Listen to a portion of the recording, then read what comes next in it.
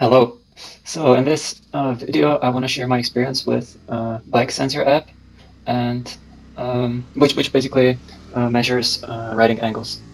And um, as I'm learning to ride motorcycle, I find this uh, very helpful, as it it's showing me like if I'm leaning more on one side or another, or basically it helps with the fear of leaning the bike. Um, so as I'm riding here on this go-kart uh, go-kart track, which is a very small track. So I'm basically I'm uh, constantly in the first gear with the Streetfighter V4. And my maximum angle here was about 43 degrees, but average was about 40. And I still have, um, I would say, one inch of tire, uh, you know, to go. So the limit is probably maybe 46 degrees, 49 maybe even. So I still have a, a, a lot to go.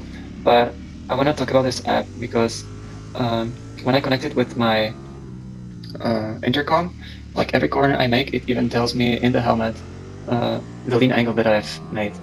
So I think this is really awesome. And when it's connected with RaceBox, it's very consistent and accurate because normally you can't really rely on the phone's hardware, you know, to measure these things. Um, yeah.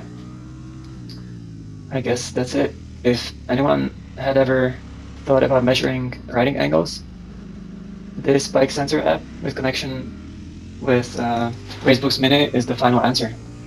That's as good as it gets.